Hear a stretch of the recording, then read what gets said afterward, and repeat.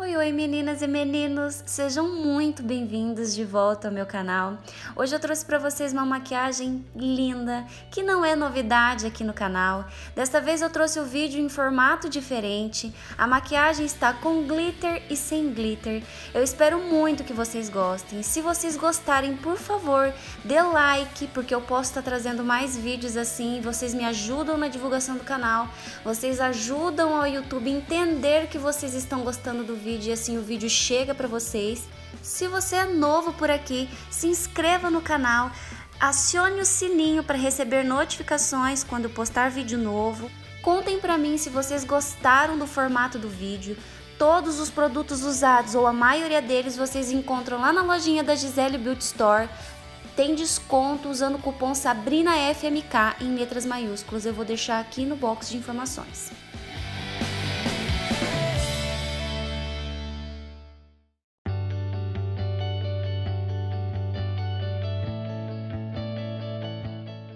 Eu inicio pela sobrancelha da modelo usando a pastinha de sobrancelhas na cor brunette da NYX.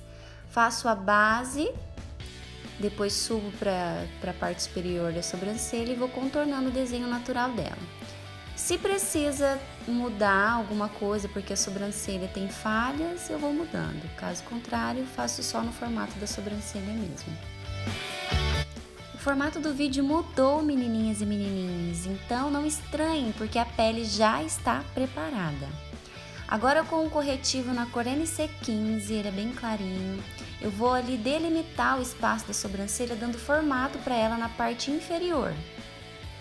Essa técnica traz luminosidade para as sobrancelhas e é interessante para quem não consegue acertar no tom do corretivo para usar como, como fixador de sombras. Eu estou usando o potencializador nude da Bitarra.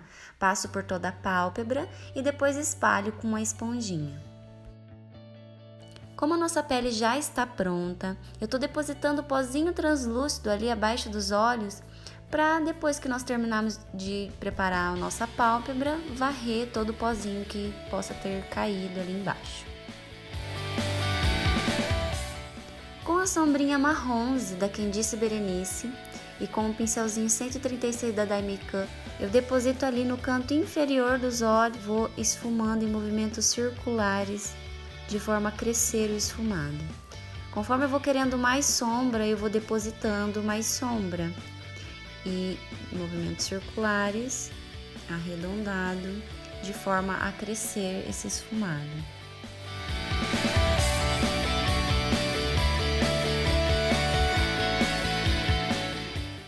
Com a sombrinha Saddle da MAC, que eu não usava há muito tempo, eu deposito ali rente aos cílios e vou em movimentos circulares aumentando isso de forma a crescer mas não que cubra minha sombrinha anterior.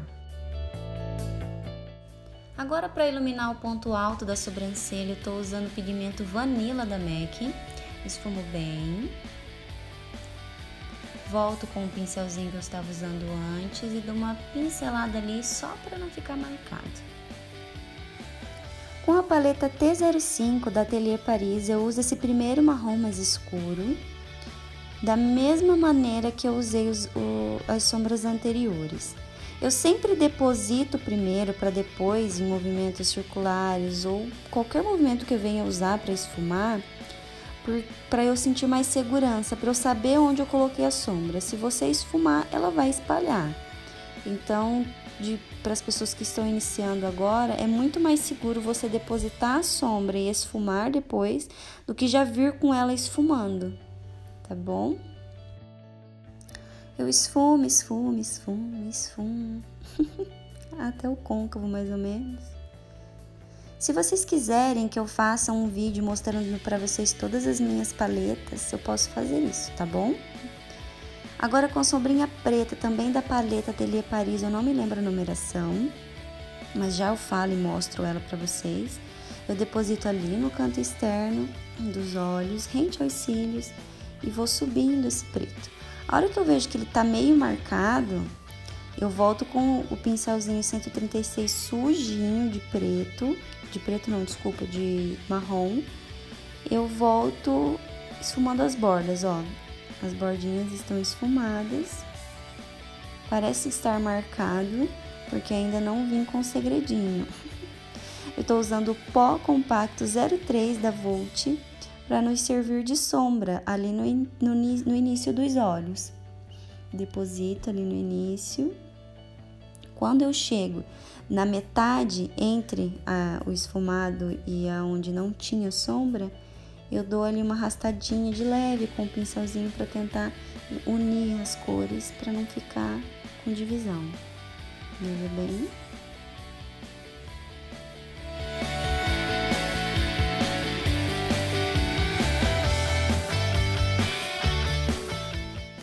Agora com o meu delineador gel da Inglot, o 77, eu vou fazer um delineado chanfrado.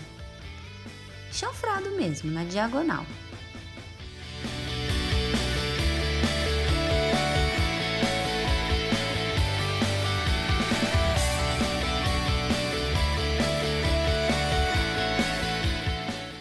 Feito o delineado, ali no final, mais que rapidamente, você pega a sombrinha preta, deposita e depois tenta esfumar as bordinhas. Tenta, porque não vai conseguir só com o pincel de preto, tem que voltar com o pincelzinho de marrom, porque senão não esfuma.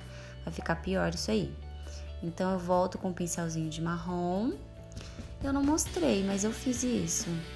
É, e agora eu venho com essa sombrinha aí dessa paleta, também da Ateliê Paris, que eu não me lembro a numeração. Que bonitinho. E feito. Agora nós vamos colar o o cílio postiço de Mink. Isso. Gente, eu vou deixar tudo no box de informações. Pode ser que não na hora, na hora que eu postar o vídeo vai estar lá, mas vai estar lá, tá bom?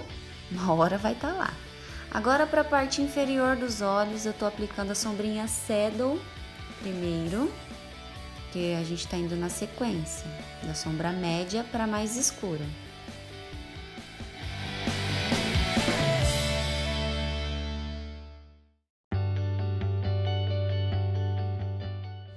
Agora com a sombrinha mais escura da paleta T05, eu só sei o nome dessa porque eu uso demais ela. demais, eu uso em todas as maquiagens. Eu só venho sobrepondo sobre a Saddle que eu tinha usado anteriormente. Agora com a sombrinha preta também da Atelier Paris, eu coloco ali do, do final dos olhos até a metade. E venho arrastando devagarinho para o canto interno dos olhos mas não intensifico. Limpo ali o pozinho, tirando todo o pozinho, restinhos de tudo que caiu. Agora com a máscara de cílios em cima e embaixo. A gente passa um batonzinho, nunca mostrei para vocês, ou se eu já mostrei eu não me lembro. Esse batom ele é lindinho, uma fofura e eu tenho ele há algum tempo e eu nunca usei. Ele é da Maquier. Eu vou deixar o nome no box de informações porque eu não me lembro agora. Primeiro, gente, se você tem lápis, você faz o contorno do lábio e depois passa o batom. Eu acho muito mais fácil assim. Se você não tem, você sofre igual a minha aí. Tô sofrendo, tá? Passar batom não é uma coisa muito fácil. Na minha opinião, não é nada fácil. Eu fiz o contorno usando pincel e depois venho com, com o batom, né? Mas, gente, eu sofro muito para passar batom. Eu espero que vocês gostem da cor do batom, muito linda.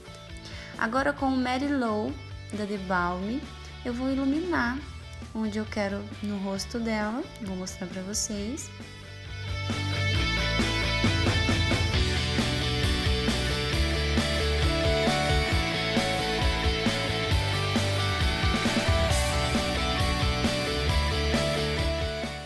Com Bahama Mama também da The Balm, eu ali intensifico o meu contour.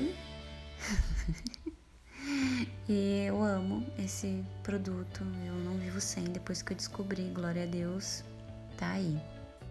Como eu sou muito esquecida, eu usei o Inglot 90 na linha d'água da minha modelo. Achei que deu um toque super especial, ele é marrom, sabe? Eu não precisei manchar nem nada. Então, Gostei muito da maquiagem sem glitter. Eu vou colocar o glitter, na verdade é o Reflex Gold da MAC. Eu espero muito que vocês tenham gostado. Se vocês gostarem, dê um like, por favor. Eu fico muito feliz quando vocês me dão um like. Se você é novo por aqui, vou repetir, se inscreva no meu canal para você receber as notificações. Clica lá no sininho, tá? Uma vez por semana eu tento trazer vídeos para cá. Me siga lá nas redes sociais, vai lá no Instagram, fala comigo, curte minhas fotos. Um beijo, viu, gente? Até a próxima. Tchau.